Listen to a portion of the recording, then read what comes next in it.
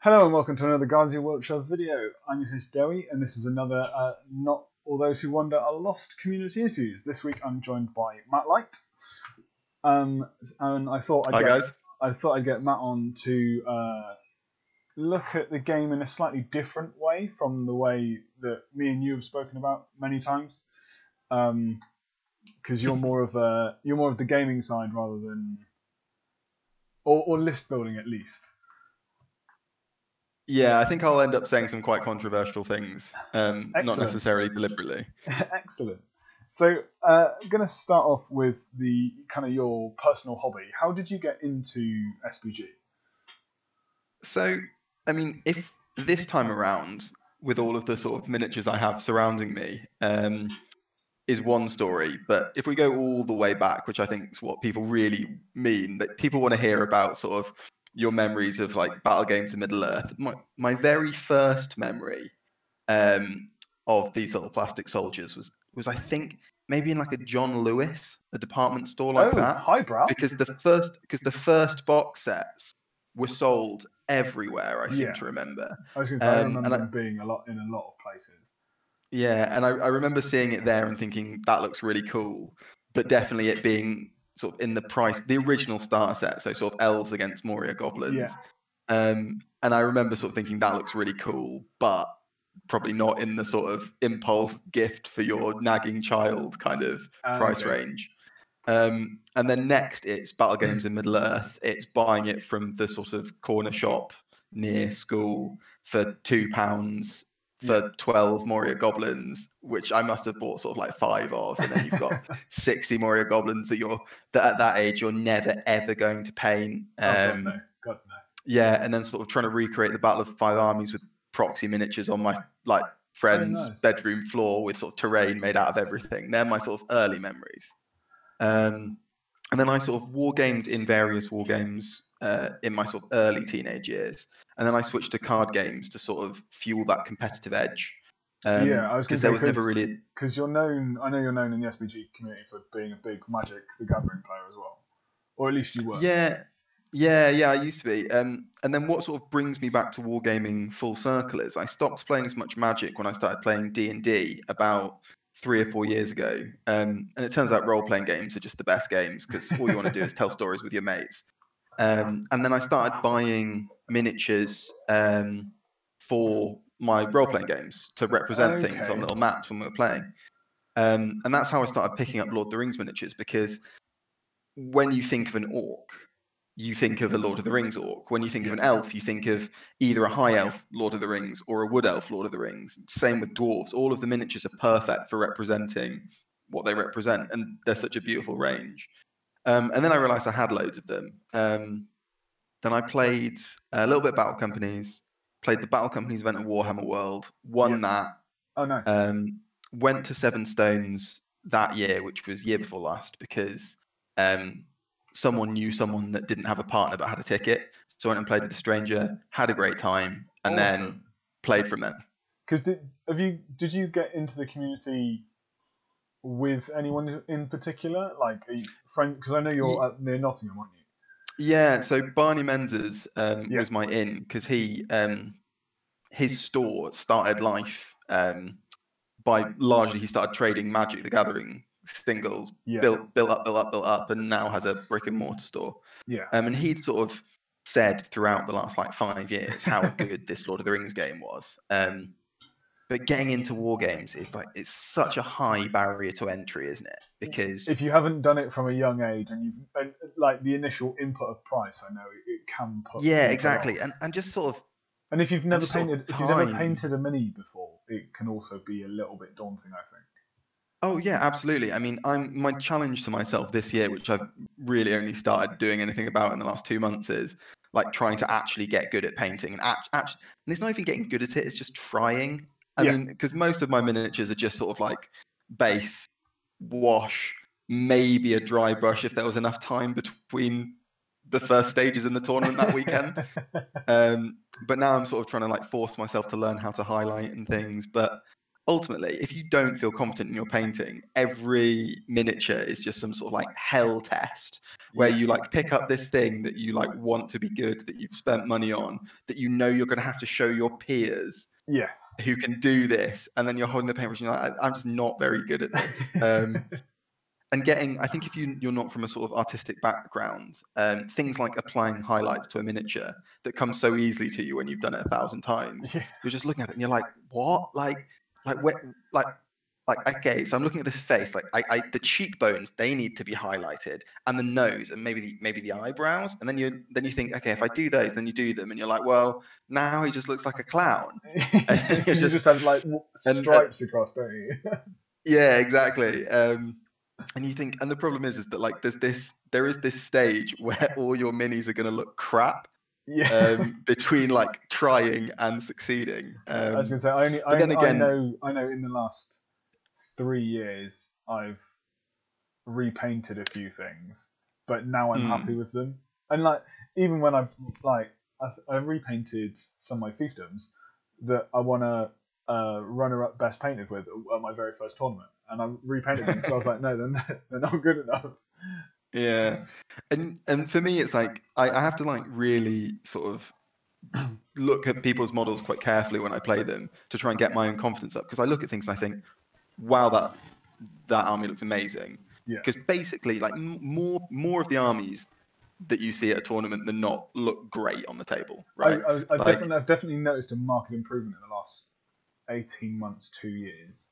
Mm. And I'll tell you why that will be. It will be because everyone's coming back to it as grown-ups and Yeah. like taking the time and really like caring about it rather than just you know sort of having a bit of a go. Um, but but you pick up a model that looks amazing from distance and you look at the highlights and stuff and you just think, oh, actually, this is just like not basic, but it's just lines. I could do that. Yeah. And and sort of getting out of the habit of sort of like cheating. So like if you put any model on a snow base, it looks amazing Yeah, yeah. like genuinely like have you ever seen an army on snow bases that from a distance on the tabletop you didn't think looked amazing and it's like no because they just No. they just draw the eye away from the miniature it looks bright Yeah. and I do, I do, just, yeah, I do, I do think a base makes a hell of a difference to a. oh yeah and there's this sort a of back in back in you know um like 15 years ago when we were when I was a, when I was 15 there yeah people didn't have little flowers on their bases like that wasn't a thing back then whereas now you look at people's armies and look like they're sort of cavorting through some gorgeous meadow I was going to say, I know my fiefdoms have got loads of flowers on them, and Yeah, and f- I'm going to build. A, I'm going to do a fiefdoms army later this year, and they're going to be on flowers. I've Yeah. not decided what flowers. Am I going to like try and coordinate the flowers with the colors of the stuff? Like it's crazy. Yeah, as what you say, that's that's what I tried to do. I kind of went, oh, does that one look right with that color? Does that one look right with that color? And you kind of Mm. go, oh, actually, yeah, that is amazing. So coming on Yeah, to so- coming on to go the on. hobby as a whole, what's your favourite aspect? Uh, building building army lists. Building Building army army lists is the best. Um, I watched your one of these with Dan, um, and I was thinking about what some of my answers would be. Um, and so, like my fav- my the perfect tournament for me would be. I was thinking about this, like the the most the most perfect tournament for me that's like feasibly could maybe happen Yeah, would be a two day event. It would be escalation. So you'd have like 500 points day Yeah. one, 800 points day two, and good versus evil. Because then I'd have to make four lists, and that would be brilliant. I learned last year that my least favorite part about um, the tournament season and tournaments in general is the week between list submission and the event uh, yeah, because there's just because there's just nothing there. It's like the twilight zone. And when when a, the odd tournament comes around where you can build your list all the way up till um, the day, like uh, the, like a the GT. Yeah, yeah, yeah. yeah, I'm literally there in the morning, like with my list not written in Bugman's, sort of scratching my head, being like, if I drop these two, if I drop these two shields on these guys, or better, drop these Morannons with spears and shields down into regular orcs. You get two, you get four points. Yeah. Then you drop a tracker, and suddenly you've got like a whole Morannon with spear shield, and it's just like brilliant. Like that's that's what I'm about. Absolutely. And, and and on the flip side, least favourite aspect of the hobby? Uh, I remember having a really good answer for this, but I've it's I've forgotten it. um, my least favorite aspect. Um, I think it it sort of goes hand in hand with this one. Is it's the sort of community, various aspects of the community when you are looking at lists and the way the game is played. um, people can. Oh, which I have two answers. This is my first one. Um, it's people that like when people are like I really like. So I really like uh, granular sort of games where I can like take this warband from here and this warband from here and sort of see what I can come up I was going to say, me, Um, me and you writing lists are very different, and we've had this discussion. Oh yeah, absolutely. When I when you said to Dan, yeah, I'm all about the pure list, and I thought, right, okay. I mean, how how how much better is a high elf's going to be than you know Rivendell going to be than some high elves and some heroes? Woo. Yeah, uh, yeah, entirely. Um, but no, my least favorite part of the hobby is the games. Uh, I I don't really enjoy the ga- games. that's that's just. That's the controversial thing. I just I just don't like. I like writing lists. I, I would have as much fun at a tournament if I wrote a list and gave it to someone else to play than playing it myself. well, you should try um, that. Yeah, I mean, I mean, I gave um, I give I give my lists out like quite happily before tournaments, and like I'm perfectly happy for Yeah. people to play them. Um, but yeah, it's it's the games because the games are just sort of um, I know who I'm better than for the most part. Like I've got Yeah. like a pretty good judge of my abilities, I think, and I know I'm definitely sure of who's better than me. Um, I was going to say, largely you've, you've, they you've been you've me. been around long enough, like like I have, and like Calman and Dan have, to know kind of where you sit in the grand Yeah, scheme and- of and- things. and you can tell sort of very early on in games by like there are there are all these sort of like tells when someone shows up at the table, aren't there? You can see like how confident they are, Yeah. like whether you recognize them in a small community is a big thing, Yeah, um, and that sort of thing. And and also the lists I play tend to be quite um, like they have like very focused pieces that are doing very focused things. So it means the games tend to be like, for want of a better term, like they're not sort of set up to be very fun. Um, yeah. so for to say, example, you're, like you're very much going in with a not win at all costs at all, but a but it's, it's an army that's designed to to build to it's an army that's built to win a game and Yeah. so like this model is over here doing this thing and this model's over here doing this thing i'm i'm, I'm pretty sure what those things are going to be before we've rolled any dice and Yeah. and I, i've noticed that like even if i try very hard to be pleasant during a game the armies i'm playing aren't necessarily like that great like like for example Yeah. in destroy the supplies um the spider queen can sort of realistically get all of the supplies in like a turn Yeah. um, so you, so you sort of go like turn one mover, turn two mover, get out the broodlings, run them to supplies, blow them all up, and Yeah. there's not a lot of counterplay to that. So like, as No. however much you compliment your opponent's army and like tell them they're a nice guy and sort of you know say they have a magnificent beard and how fun it was, like they know they didn't have fun. Like they, uh, they yeah. know they know they didn't have fun. I was to say, I, I play Angmar, so I know I've played uh, Liam Friel before and gone, ah, you've got your Boromir of the White Tower and Hurin as your two heroes. Cool. I've got Witch King, two Barrow-wights, and Buhrdur. Yeah. Boromir was dead turn two, mm. um, turn two or three, and then Hurin died the next turn. It's like, right. There's no, there's not much you can do about it. Yeah, but and, that's and how some- Angmar and plays. you- yeah, and you get a lot of games where, and that the issue with like with armies with like big heroes like that is that normally there are a bunch of troops to go with them, and if you kill the heroes, the game probably still goes on for about forty more minutes, and but actually all you're doing is killing all their models, Yeah. and it's like "Mm, that wasn't very fun. Um, So, but yeah, you- the, genuinely, the games are like. Well, it, I build I build lists to see if the lists can win tournaments, and then they do or they don't. It's if if that if I could sort of just sort of simulate that, you know, like when you played like Total War games, yeah, you could like play out the battles, or you yeah, could just sort of auto build your resolve, armies and auto resolve. Yeah, yeah, exactly. Like you might play and you'd play one game, and then you'd sort of go ah, play one battle and like, oh, actually. That was like 35 minutes. I could have just auto resolved that and done like I could have conquered France by now. yeah. You say that Um, I'm I'm playing medieval 2 at the moment, um, as like a bit of a side thing from the hobby. So how do you find the balance between uh, building models or terrain, painting them, playing, list writing in your case? Kind of, do you have a balance that you try and achieve, or Oh no, no, No? no.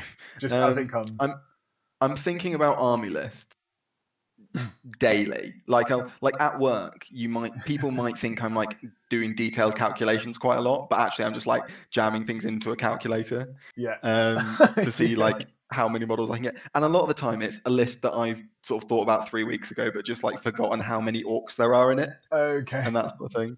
Yeah. Um, but yeah, and and you'll often find myself if you if you're someone I talk to about lists a lot, you find that occasionally I'll send a message just like, "How many Iron Hills dwarves feels like a lot?"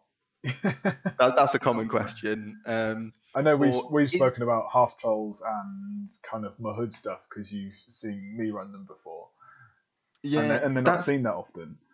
Mm, part of my sort of secret to like getting good quickly and learning quickly is that like basically every tournament I went to, if I saw someone with a list that I thought was cool with models that I hadn't really thought about, I'd literally just add them on Facebook the next day and message them and be like, right, tell me everything about Corsairs. Yeah. Tell me everything about blah. This army was really interesting. How did you do? What went wrong? Like, why didn't you win the tournament? That sort of thing. Because everyone's dead keen on talking about themselves Oh yeah, like why, and why do you, their armies why, and everything. Like everyone loves it. Why do you think we're doing this? Yeah. um, and yeah, I think that that's really quite important to to trying to improve is sort of just like absorbing all the information because it is out there, but it's it's not like if you started playing uh, League of Legends and everything everything you could possibly want to know is easily accessible on the internet. Like there aren't just there aren't like I mean now there probably are sort of six eight articles about how to play Morannon Orcs, but when the game was when the rules were re-released year Yeah. before last, there weren't. There were maybe two that you could find. So the people were quite important. So moving on to your collection, how big is it, and what armies, or I know in your case, what models do you use? So I've got so I've got a full Harad army with like a Mumak and um, like twelve of all the specialist troops and sort of thirty-five warriors and all the heroes.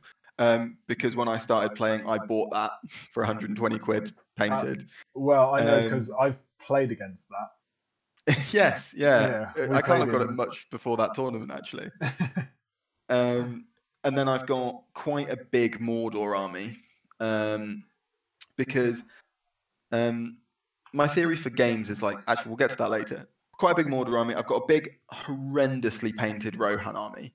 It's like it's like it's so badly painted that like it was like speed painted over like three days before a tournament, Oh, and wow. it's and, and like I, I I definitely can't paint now. Like two years ago, I definitely definitely couldn't paint. Um, it's so bad that I just like wouldn't really consider getting out the box. Um, okay. and I didn't get I didn't get Théoden painted in time either. So it's like a, a painted Rohan army without Théoden. So like for me to be able to play it, I would have to paint him. Um, and then he looked much better than the rest of the army, so it, it'll be a mess.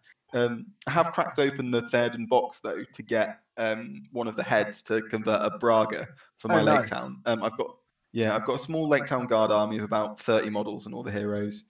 Um, I've got a few high elves because Cirdan was really good. Um, some wood elves, uh, a very very small army of Thror army. So I've got I've got bits and bobs, but for the most part, I can't actually field more than about like 400 points, 500 points, apart from Harad and Mordor, okay. because that's not how I build my armies. No, no. um, Oh, one model I'm really proud of. Um, again, it's it's not very well converted, but I I was going to say my next um, question was your favorite favorite model. Yeah. Yeah, so my favorite mini is the old Radagast model, Oh, nice. um, where where he looks like a cool druid with like a bird and a Yeah. staff. and, yeah, like, I've got I've his- got that one, and I've converted one on a horse, which I'm dead proud of. So. Yeah, my favorite model I own is my um, converted Radagast on a horse, Oh, nice. and it's the it's the Gandalf the White on Shadowfax like charging model. You know where um, Shadowfax is like in sort of full jump almost. yeah, this is the two towers kind of more common mounted one. it?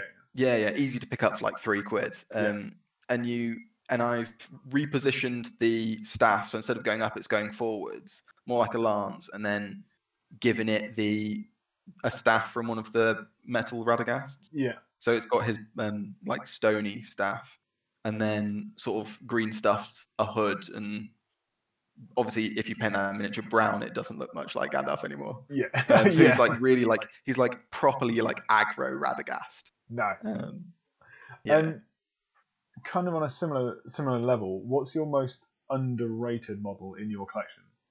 Kind of that could be a pose, a sculpt, um, rules, whatever you uh, so- like.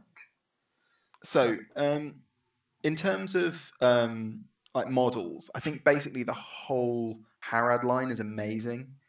every time I pick one up to look at it, I just think like this looks like cool and characterful. And, Yeah. And they're all really distinct from each other.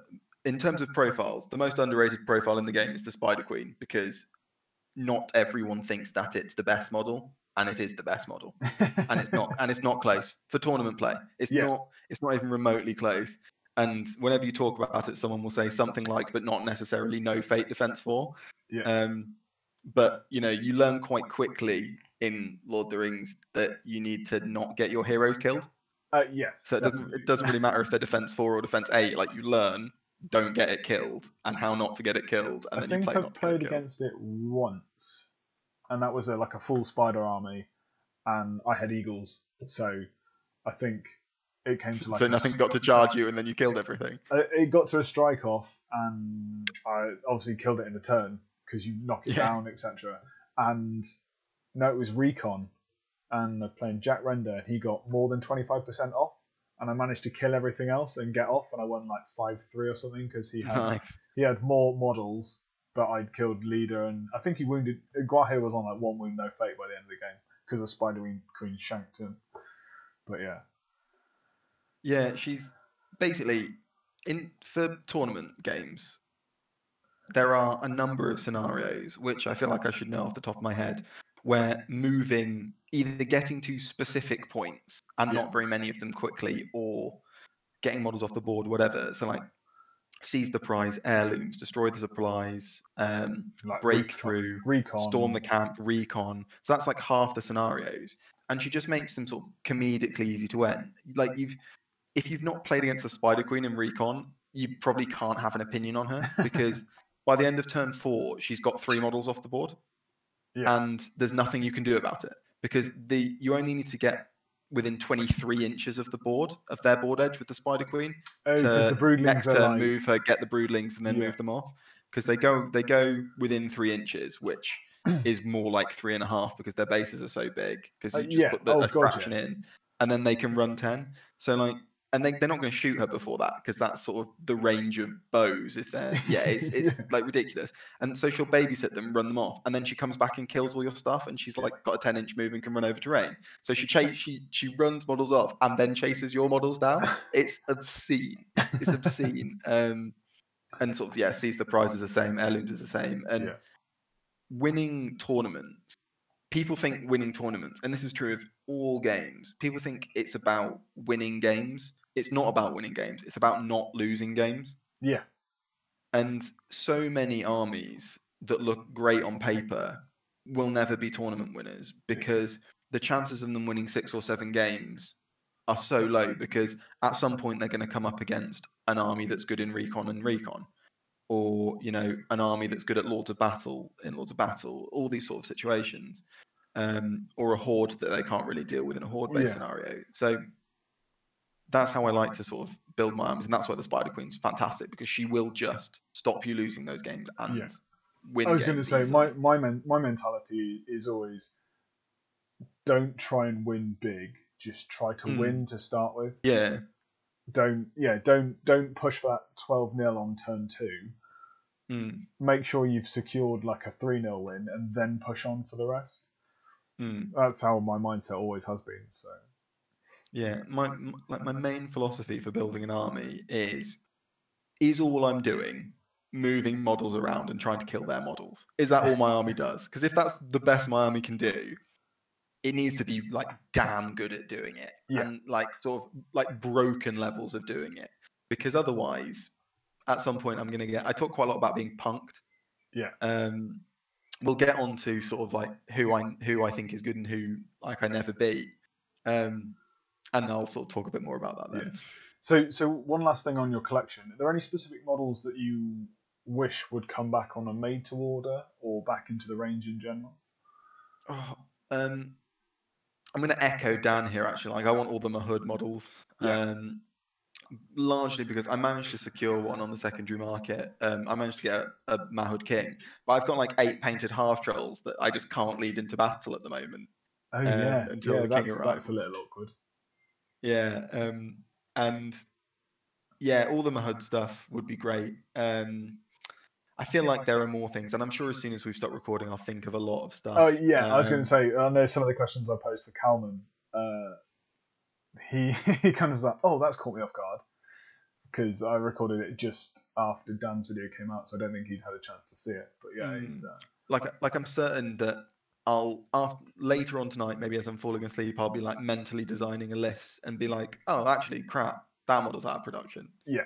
Um, But I think I think that the the team have done really well at getting the models out there. There were real problems when the this rule set came out with there being very powerful out of production models. yeah, like when definitely. Cirdan was un- unreal at the start, and the literally the only people who had him were the like legacy players.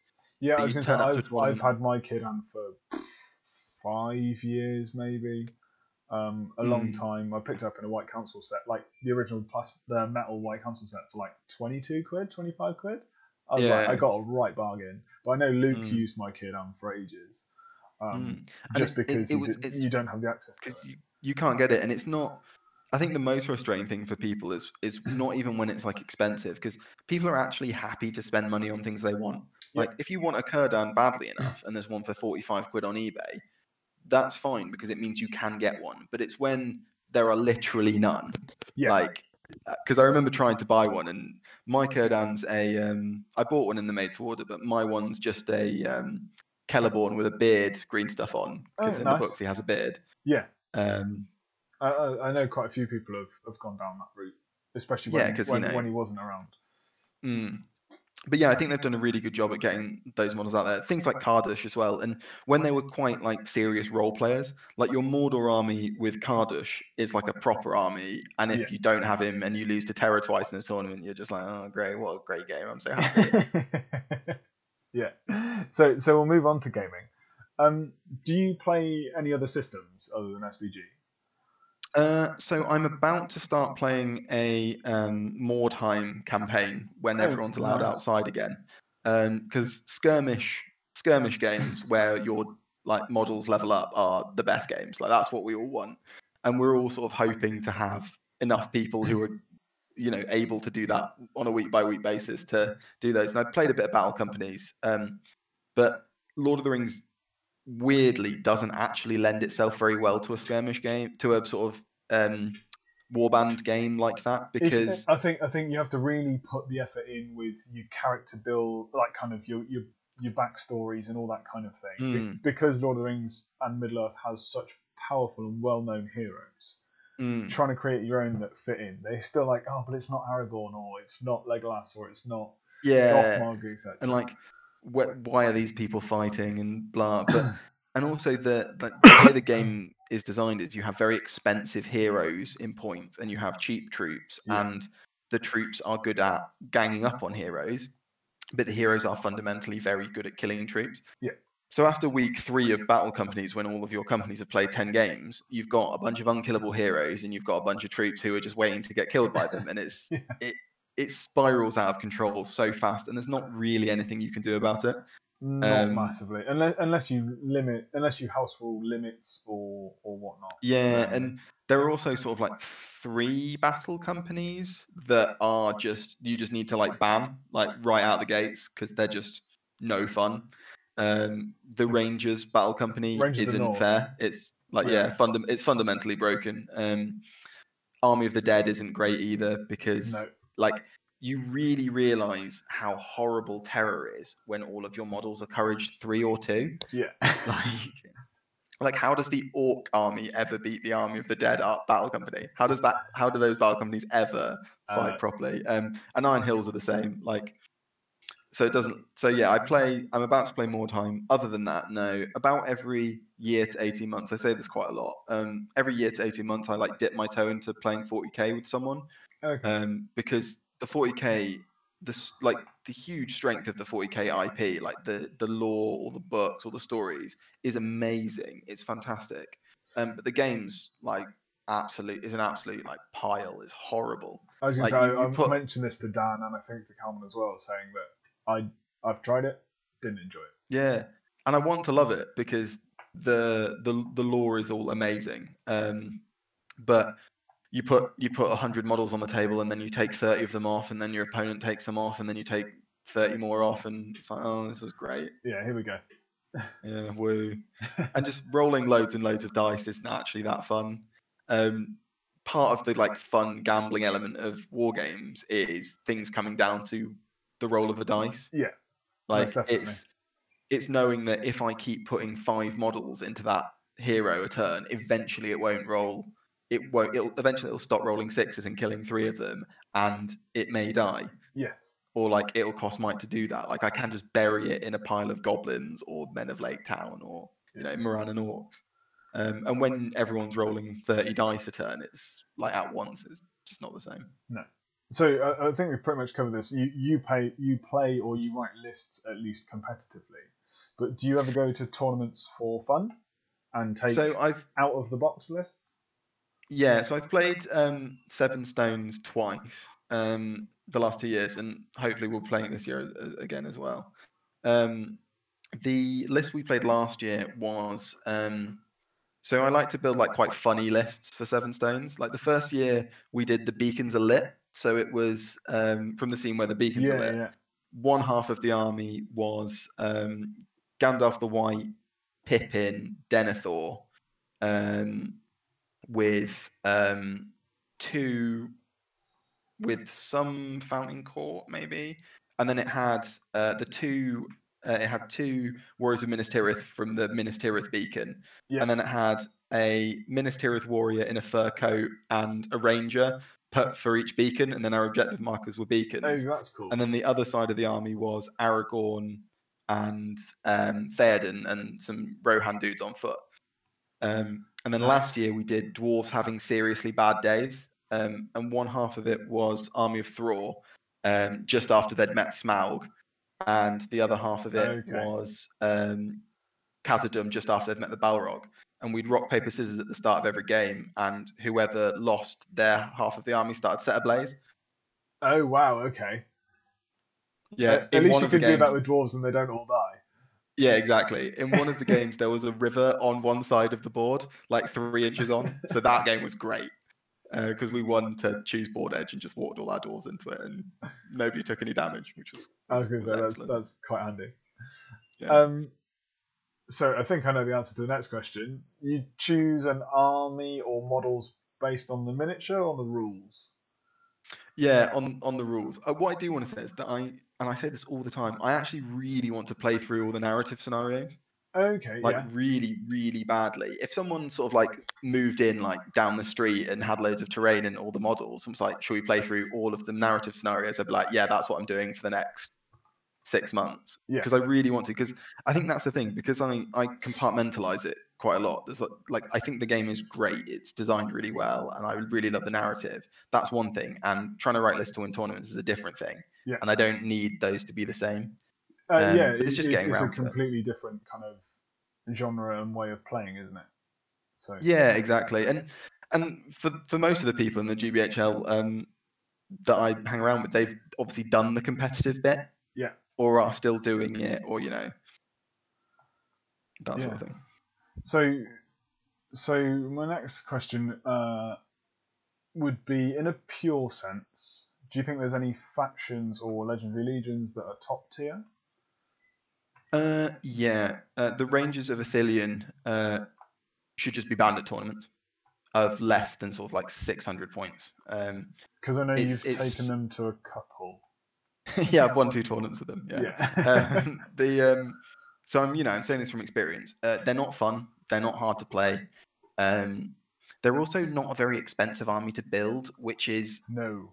not really a problem. But like, if suddenly ten people decided that they wanted to win all the tournaments that were 600 points or less and bought Rangers of Ithilien armies, they could do it for about 50 quid Yeah. and which means that it could happen, which is bad. Um, Rangers of Ithilien make Lord of the Rings 40k, and 40k is rubbish. Um, but yeah, they're like seriously not okay. Um, Iron Hills before their the point change on the ballista, Yeah. um, they were overpowered. Um, basically, for me, the things that, funnily enough, the things that I think are bad and the reason things feel overpowered is they tend to be the things that mean people can't bring armies that are fairer. Okay. Um, so, so if you bring if you bring an army of Morannons um, against Rangers at 550 points, say, and you've got like 35 Morannons, Yeah. you won't probably won't even have that, will you? You'll have you'll maybe have that.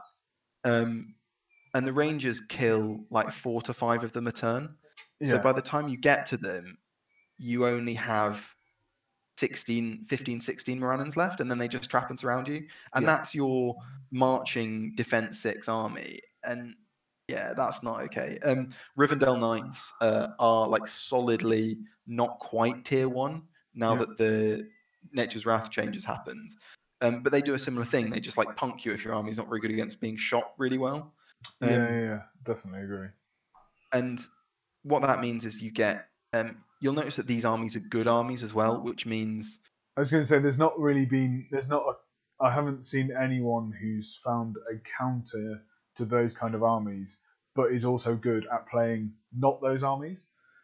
hmm, well the part of the reason for it is that um, well the, the, the, there's two reasons for it one um, evil only has one way to not be bad against shooting Yep. and that's and it costs 120 points minimum so like and even then even then if you're if you're marching your shadow lord army into them you're still getting hit at 550 odd points with six bow shots a turn. Six are still hitting. And if they're all going on you know the squishy bits you're still losing models. Um yeah i've lost my train of thought slightly there but yeah those those are the those are the problem armies. Yeah the other reason is rangers just they still hit you six times through blinding light. It's Yeah. horrific. Yeah. Um but other than that i think everything's like largely fine. Yeah. um I, I, th- I think I think I think what I've essentially established from talking to people over the last kind of three this being the third interview that there are factions that have a set points limit which they're very good at yeah and then and then obviously uh, Rangers of Ithilien at seven eight hundred points suddenly becomes yeah who, who cares yeah yeah a completely different question. So so you said you, you said earlier that the Spider Queen you think is the most OP model in the game. Yeah yeah with, without a shadow of a doubt um Is there any that rival? Um, Bard with full kit's pretty good. Um, by full kit, I mean Alfred plus the girls. So Yeah. 205 point Bard, not 155 point Bard just with Yeah. yeah. armor. Um, yeah, he's pretty good. Um, what else is pretty good? Um, Cirdan was obviously fantastic, but now, like changing him to a minor hero and the ally rules has actually just fixed him Yeah, Because you yeah, just most can't definitely do- agree. um, the crazy things you could do anymore. Uh, oh yeah, Boromir of Gondor. He's insane. Um, he's point for point, absolute champion. Absolutely Even fantastic. even with no fate. yeah, yeah. He, again, like, don't get your heroes killed. Like, there aren't that many. There aren't that many times that you get a three wound defense or five or six hero like in a position where he'll die because he's got no fate. Like a lot of the time, if your hero's going to die, it's because like Dain's just trapped him, and Yeah. it's like who cares how many fate or what you're defensive if Dain traps you or like I was gonna say because I think I watched something it that. was uh, your GT army against Jay's Dunland, if I'm oh correct. god, that game was horrendous. Um, I watched that what six weeks ago, I think it was, start of lockdown when I was like, right, what should I watch? And yeah, it was it was one of those. Boromir was doing fine, and then got trapped by a couple of heroes. And, and to be fair, that's Yeah, pretty just- much end game for any hero. any any hero would have died then, yeah. yeah. Um, so- but yeah, he's he's fantastic because what because he has might, he's got six might. Yeah. it's ridiculous, and he's got March. And in Good versus Evil, like the Horn of Gondor's a really really serious bit of equipment. it, it's very like, handy. when you're- It's very handy. Yeah, yeah. Like I I played against I played against again- a game against Angmar at the GT, um, and I had Lady of Light and Boromir, and Boromir never had to roll the dice to win a fight. Oh wow. He just kept, kept like charging two, and they were taking you know courage one courage tests and failing, and then getting knocked over and killed. And he's just using all his might to like heroic combat about. yeah. Um, yeah, he's he's fantastic. Um, a lot of the models um, that are really strong that spring to mind are good models for good versus evil. Yeah. So Galadriel, Lady of Light's the other example. Yeah. Um, because what she brings to the table is just fantastic. Um, Thranduil's actually pretty fucking, excuse my language, pretty pretty crackers. Um, like when you when when he, you, you've got him like wandering about on foot. Don't put him on a horse; it's ridiculous. You've got him wandering about on foot, and then your opponent charge you would charge two models, and then you put a spearman behind him, and your opponent's your opponent picks up the dice and goes, "Okay, so my two attacks against your four," and you're like, "No, I've got six attacks actually. Yeah. he's got four, and then you you outnumber him technically, so he gets another one, and he's just like whirling around with all the blades like he does in the movies. yeah. Um, and then he makes all your guys cause terror as well, which is Yeah. fantastic. So, what's your favourite points level to play at? Do you have a set Um, bracket, or I was thinking about this when Dan gave his answer. I think Dan's answer was something like it was five, five to six hundred, and then eight hundred to a thousand, and but Yeah, he'd won, and- but he'd won the most tournaments at like seven hundred. It was Yeah. really weird. I think my favorite is 650 exactly. Oh, nice. um, because I think at that point you've just got out of the um, you've just got out of the the armies that are really good at low points value points value, and you're not high enough that people can just have whatever they want in their armies. yeah, So you still have lots of meaningful choices, but you've still got a bunch of points to play with. It's the last point where you start realistically deciding whether you're going to take a banner or not for points reasons.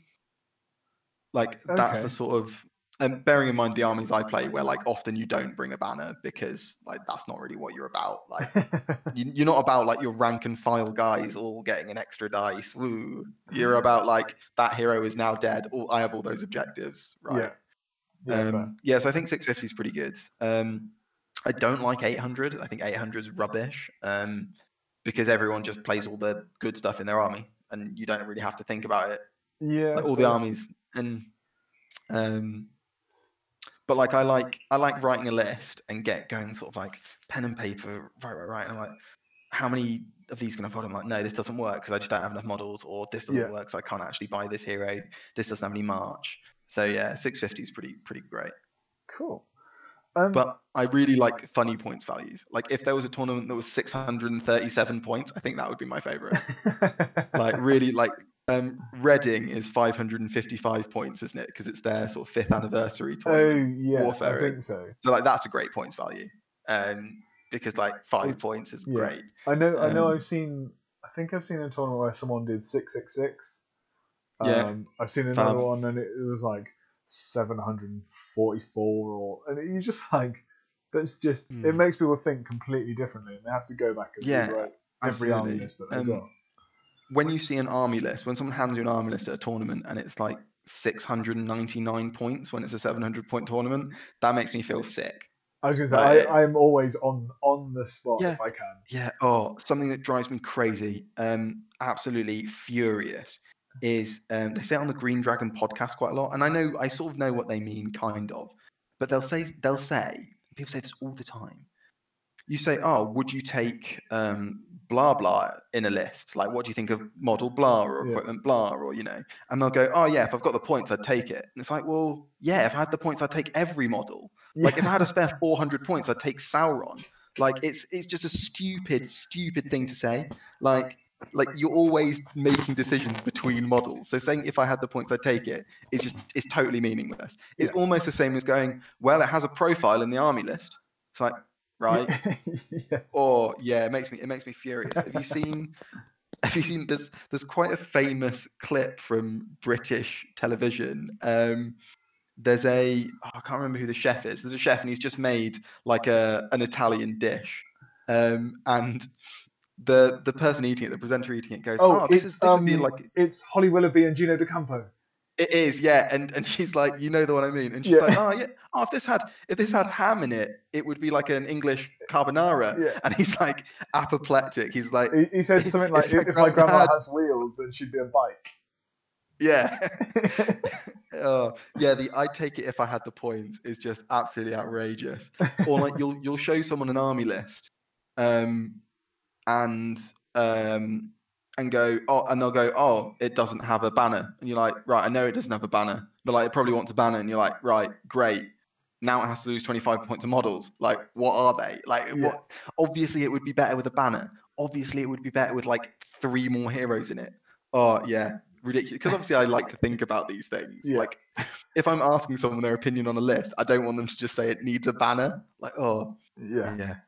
Yeah. So so at tournaments, do you prefer good v evil, or do you think, Um, or, or, well, do, you, I'm- or I'm- do like I'm obviously in two minds about good versus evil. Um, one, I get to write twice as many lists, which is brilliant. Yeah. So it, it is always the preference. Um, and if there's a tournament where you can take two lists, um, unless I'm trying really hard to win and I've got one army that's like definitely going to be better than the other, um, I'll take two.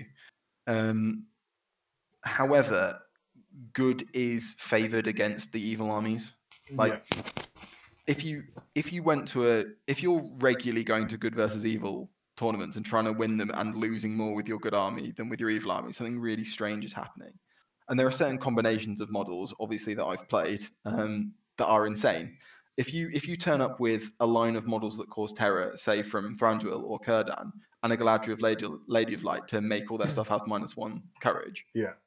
they're not going to beat you um, it- it's going to be very difficult at least.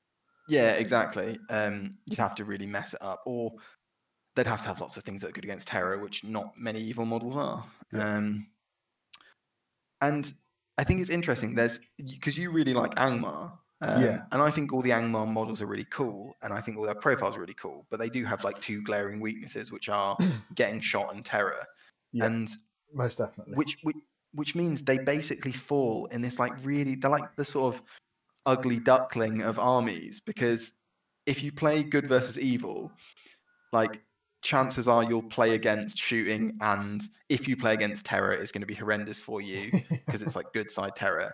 And there are all these armies that like like lady of light exists. So like angmar can never be like winning good versus evil tournaments when it's going to play against a lady of light because she just sort of like stops all of the stuff against the heroes makes none of you mean none of your orcs can charge the terror causing stuff yeah. and then like blasts all your heroes. It's like it's, it, it couldn't be worse um Luckily, I've never had that three- matchup. yeah it yeah you can you yeah it'll be it'll be bad. Don't don't. That's my best advice.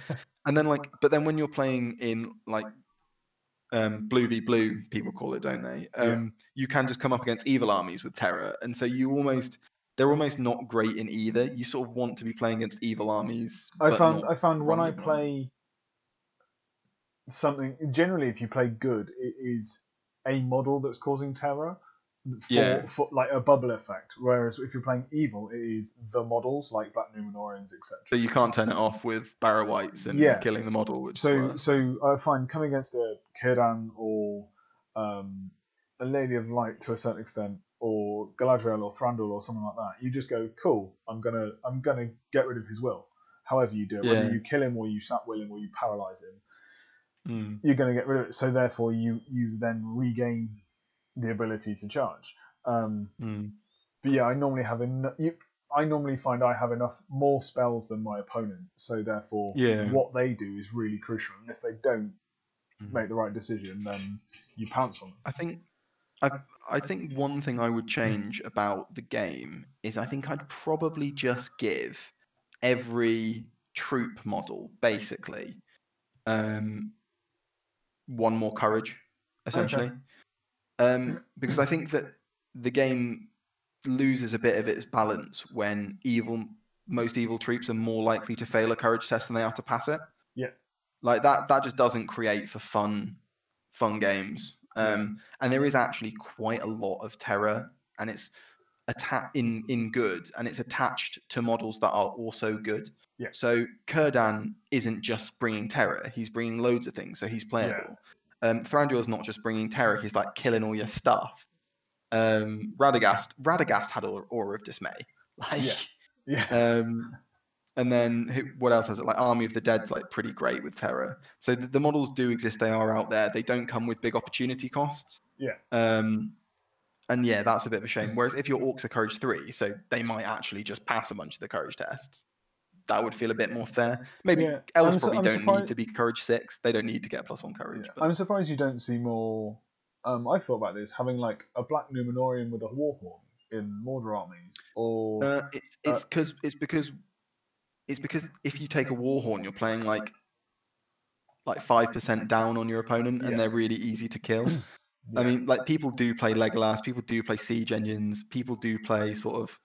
If you if you've got a Warhorn at like five hundred, you can't take one at five hundred no, points. No, no. I'm thinking seven, eight hundred. Yeah, yeah, you can, and that's when like 800 you can do it. 700 you're starting to think about it a bit more.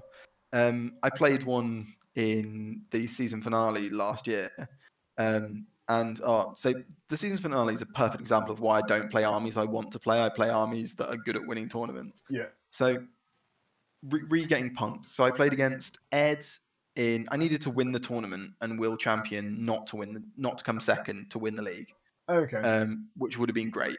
Uh, obviously, it didn't happen. Um, so in round in game three, uh, I play against Ed in Storm the Camp with his Rivendell Knights, and my Yeah. army is like it's green. I'm playing like full theme, ish. Um, I'm playing. So my army is um, the Lingering Shadow leading some Gundabads with Spear Shield Yeah. and two Warbats.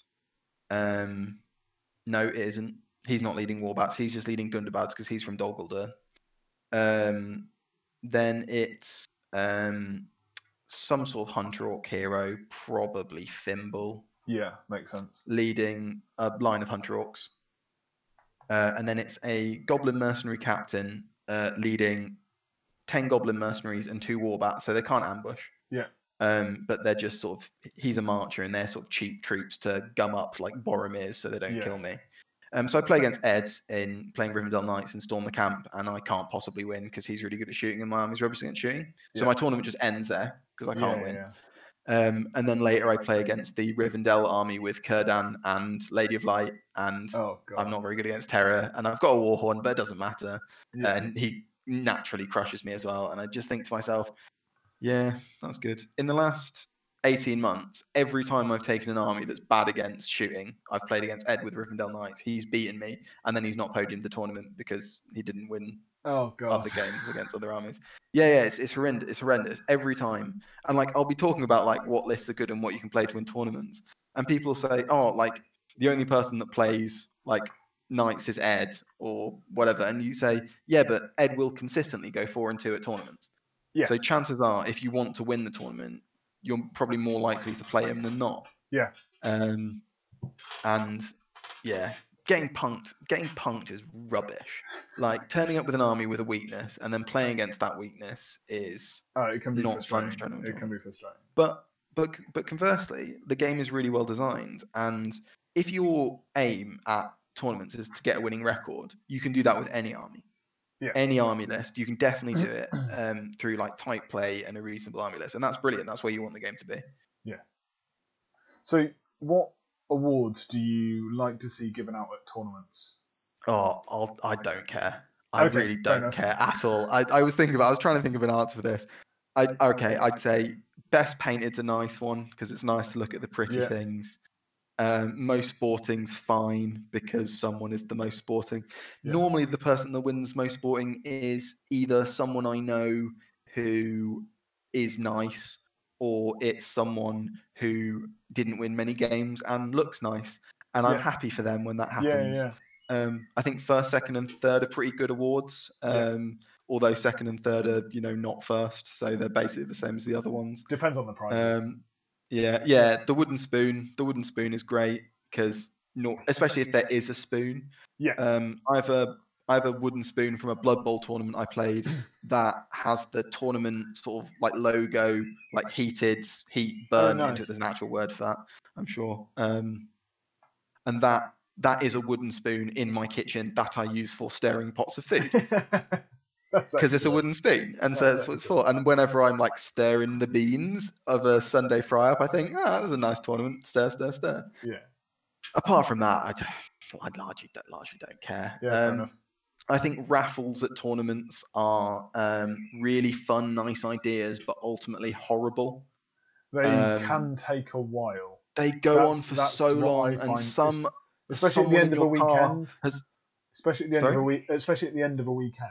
Yeah, Where someone in your car's knackered. always bought tickets without telling everyone, and then like the rest of you thought you weren't buying tickets, so you've not bought tickets. So not only do you have to wait for this person in the raffle that goes on for an hour and a half rather than forty-five minutes, but you don't even have like a whole, you don't have skin in the game, so you're just like great, Yeah. and like oh, and people cheer, people like cheering at raffles. It's like it was literally a random number pulled out of the hat. Like this is yeah uh, but i love that. I love that i hate that. And and and feeling that feeling is quite fun and that makes up for the horrendous raffle. Um i think it's nice when tournaments try and do more with the like best stuff. Like Yeah. i think having a sort of best theme is quite a nice thing um but ultimately like we've all seen the themes. I think there's a certain point where people who have pretty armies should stop entering them for best army. I think once a, once you win a best army award with a or best painted award with an army at a big enough tournament, like if you win best painted at a 20 man tournament, fair enough. If you win best painted at like a 70 man monstrosity, Yeah, like don't enter it in the 30 day one, the 30 player one two months later. Like yeah, I, I do. I do kind of know what you mean, and I, I know when talking to friends of mine who who have done that, and they are incredible painters. I specifically tell them, I'm not voting for you. yeah, I'm not voting for you. I voted gonna- for you being the best army in the past. Yeah, so I'm gonna go and look at something else, and they, and and they're like, yeah, cool, fine. Mm. So there was someone someone at um someone at uh, Cardiff this year had um their display board was playing music. that was Mike Uh, Tetley. That was yeah. Mike Tetley because he kept walking Yeah. away with his phone because it was a Bluetooth speaker and it kept going off.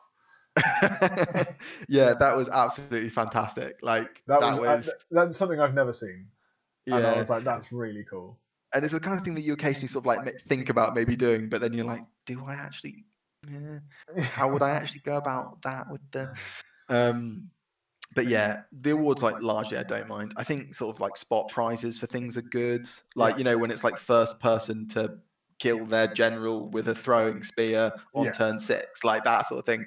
That's fun. Anything that just like gives you like extra mini games is quite Yeah. fun. Cool. Um, and especially when they're because what they do is they allow for the tournament to mean a lot to more people, which I- is is is Yeah. great. Like Yeah, yeah, I if you- definitely get. I definitely get that, and understand. yeah, like, it, that's why I try and take a, a themed and pure army that's slightly more competitive, so that I can still have that satisfaction of winning games with an army that I love. Yeah, I, you said something really interesting um, on when you were speaking to Dan, which I've been talking to um, Dave Farmer a lot about lists recently. He's become my sort of Go because to. Ryan Hinch has been sort of like not wanting to win tournaments as badly. I've needed a new person to talk to lists about, and it- it's fallen to Dave.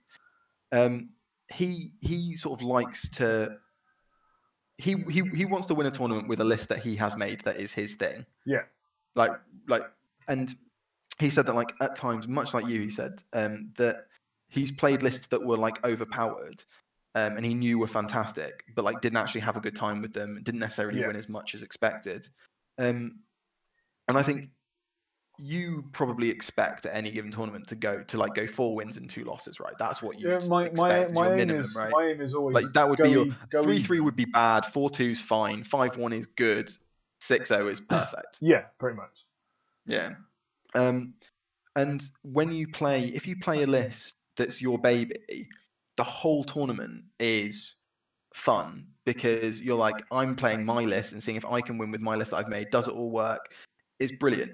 If you're playing, it's much like I was saying about painting before. If you play a list that you know is a tournament winner, every game's a test.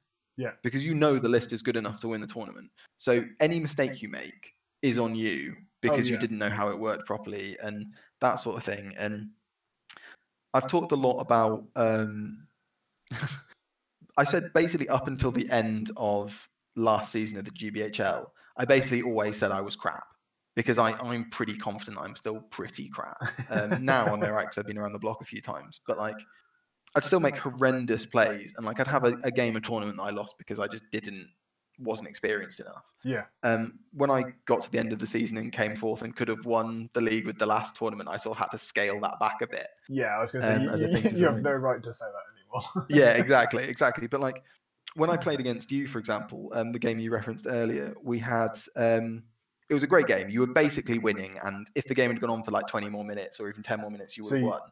I lost track of time on that one. I thought Yeah. I, I misjudged the time. I misread the clock. I can't remember what I did. It was one of those things, and I thought we had an extra half an hour. So when they were like, "Ah, five Yeah. minutes left," I was like, Basically, and I, wow. I learned a big lesson in that game. And the lesson I learned was um, the clock is really important, obviously. Yeah. Oh, but, like- I, I learned exactly the same. Just make sure you know what time it is. Yeah, because we moved around and did loads of shooting for a bit. And then we knew that when combat hit, there was going to be at most three turns of combat. Yeah, pretty much. because because by that point, either I'd have got pretty lucky and you'd have lost loads of elves, or you'd have just cut through on my low defense Harrod and Yeah. got to the middle. Because I had a six inch banner, three turns of combat actually is six turns of combat in Yeah. terms of how many dice are rolled. And I realized that after that game, I was like, wow, just picking up a dice and re-rolling it every combat Oh, it's just huge. like it makes makes such a difference. It's so quick, and it's how sort of Ali King's army of Thror always ends up like with like way more time than it, way less time than their opponent expects because the dwarves die slowly and they're all re-rolling dice. I was going to say, uh, I, I always take a banner for the reroll. It's not for the VPs or anything. The VPs are a Mm. bonus. It, it's the banner for the for the reroll. But yeah, like you say, it takes an extra extra time.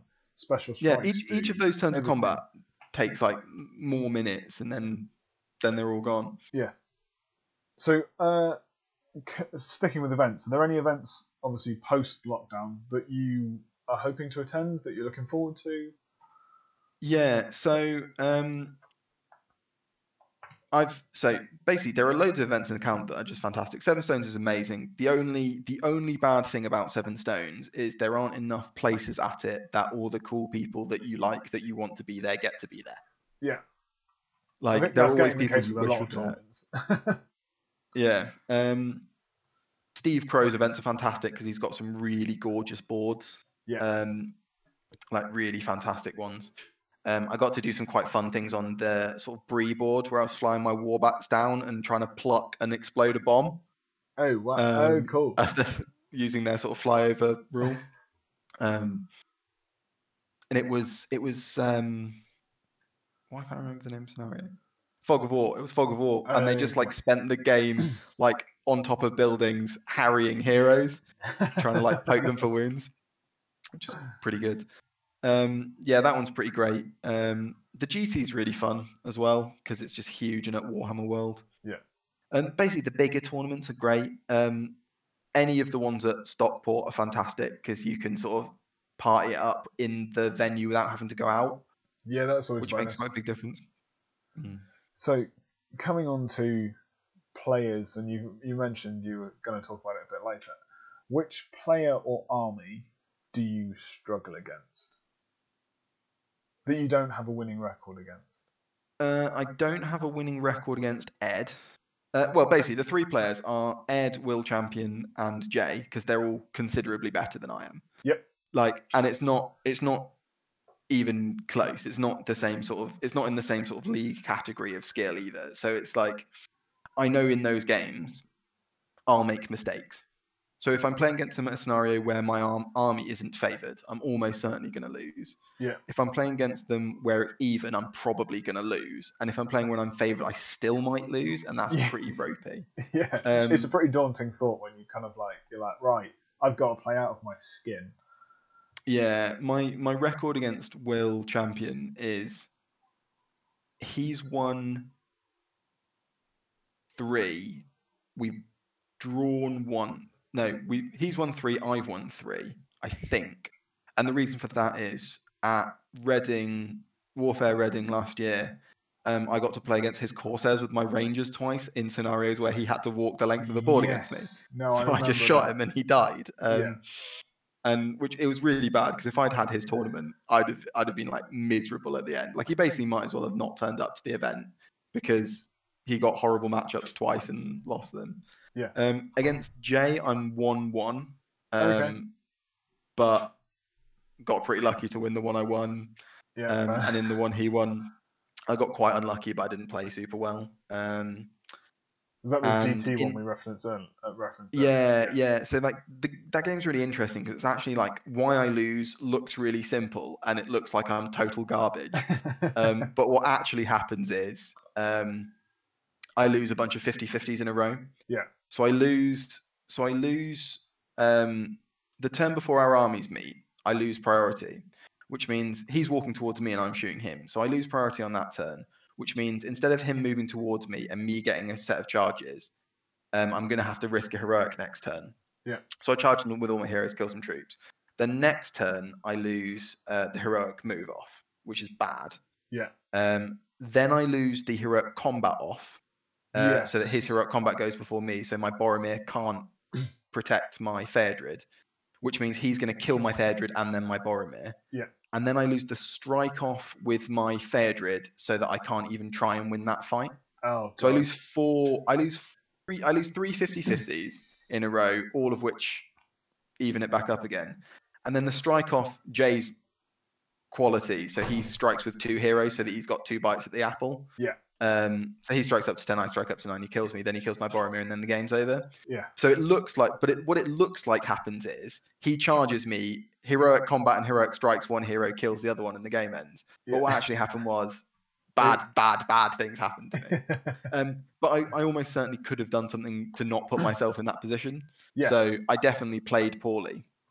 Um, and Jay's not in a bad spot if he loses any of those either. So Uh, it doesn't yeah, really matter if he loses the first heroic move because I'm probably just going to blend troops and he can have another crack next turn. Um, if I, uh, sorry, the priority, I just get to do good things. The move, he doesn't go too badly. The combat, um, he probably he's still getting a heroic strike off against my Theodred and maybe killing it. Um, yeah, he's still he's still so, combat like- striking off Theodred, isn't he? So he's expecting to kill that and something else, whether it be Boromir or troops. Is is yeah, thing. exactly. So he's still in he's still in good shape. Um, but yeah, yeah, boo. Uh, I expect to lose to Jay next time I play him, for example. Okay. um, and against Ed, Ed just keeps punking me. Um, Ed punks me with his shooting armies. He punked me at the GT year before last with a shooting army.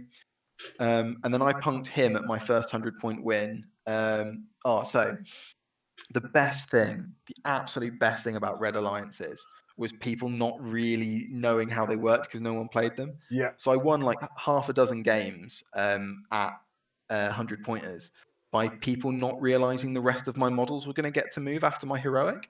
Oh yes. So I'd call Yeah, a heroic yeah. with like Gurrit, move all of my orc. Um, with Gurrits, move all my orcs, uh, charge a bunch of stuff. They'd countercharge everything, or uh, and then the Spider Queen would charge around the flank to get an amazing hurl.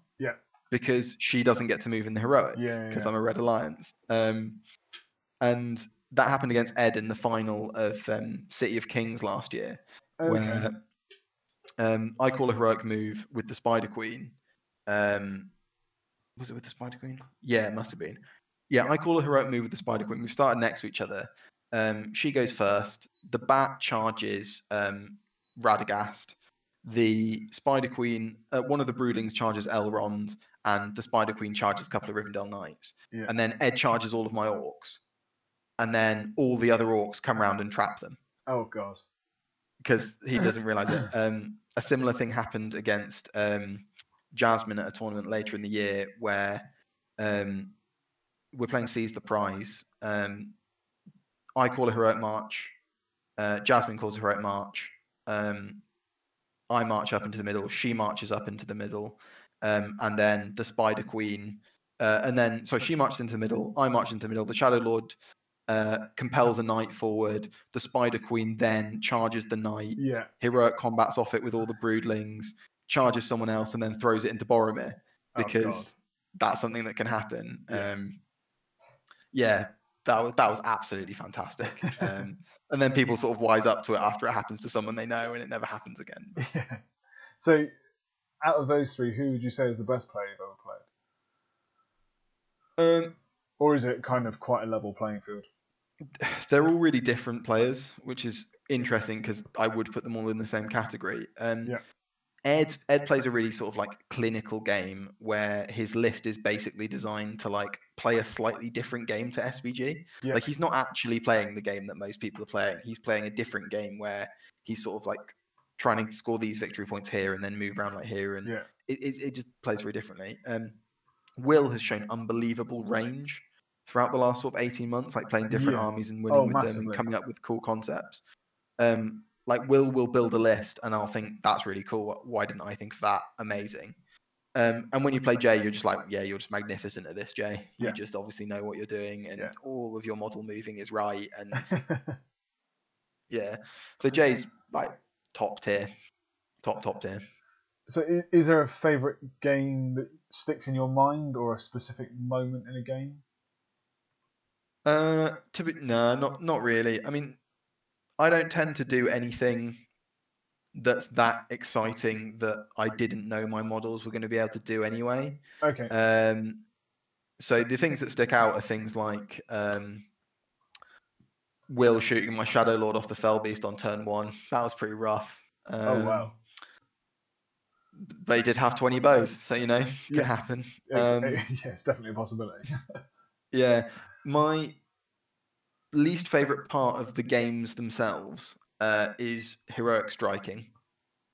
I consider my sort of ethos for the game is that if I'm ever heroic striking and you're heroic striking, the game has gone horribly wrong.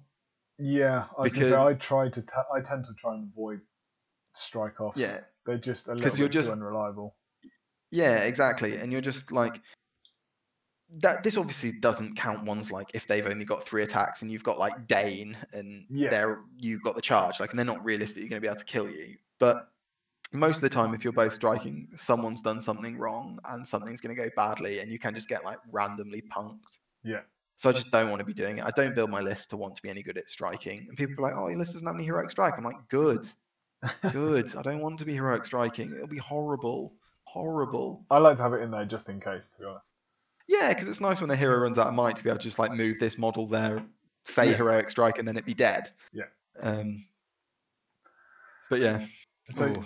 do you have a favorite tournament? Uh, in in the calendar, Yeah, in the calendar, whether it be GBHL Stones is- or Stone, Stones is the best tournament. Stones Stones- is the best tournament without without a shadow of a doubt. like it's got everything. It's got like sunshine. It's got curry. It's got food. Um, I've managed to win um a like best theme sort of card nomination Oh, every nice. every year of the two that I've been there. So I want to try and keep that up.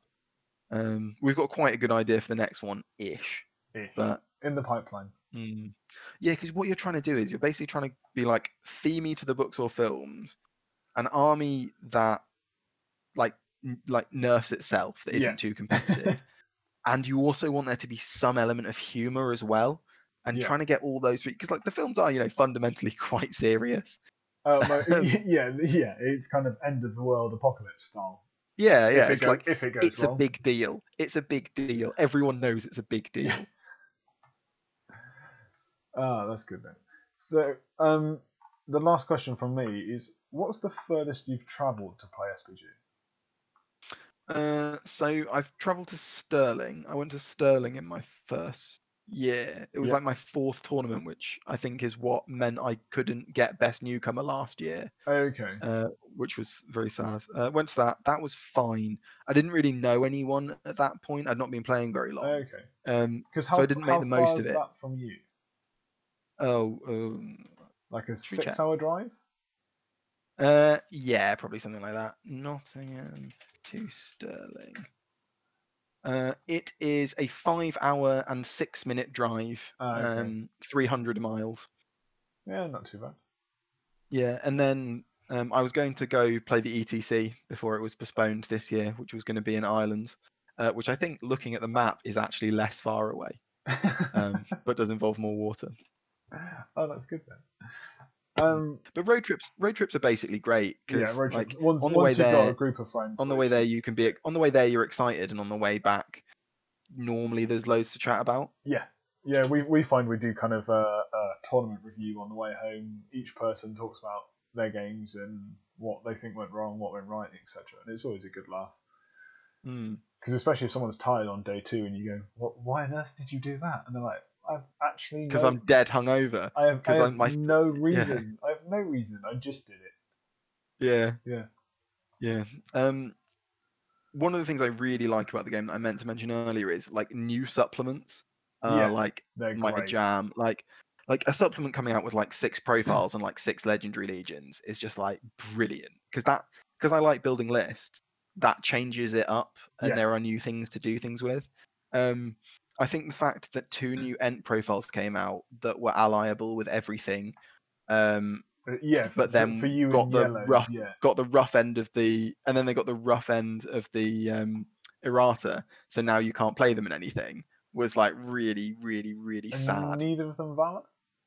No, No, they both Fortitude, do they? Yeah. Okay. Which and we had we had some absolutely and one of them had March, so you could put a, mon- a monster with three might and March into your lists for like 140 points. and Ryan and I had some absolutely filthy lists. And he's eight inch move as well, isn't he, Cook Green? Yeah, we had some Yeah. filthy lists where you're like Gwaihir and um, quick beaming and Iron Hills dwarves, and you're basically like chucking, you're like hurling into your other monsters heroic combat and not knocking that down and knocking all the models down Yeah. and just like having like really maneuverable stuff. Um, but yeah, that was pretty sad. Hey ho. Um, I've got a list that I'm quite excited to play at 700 points.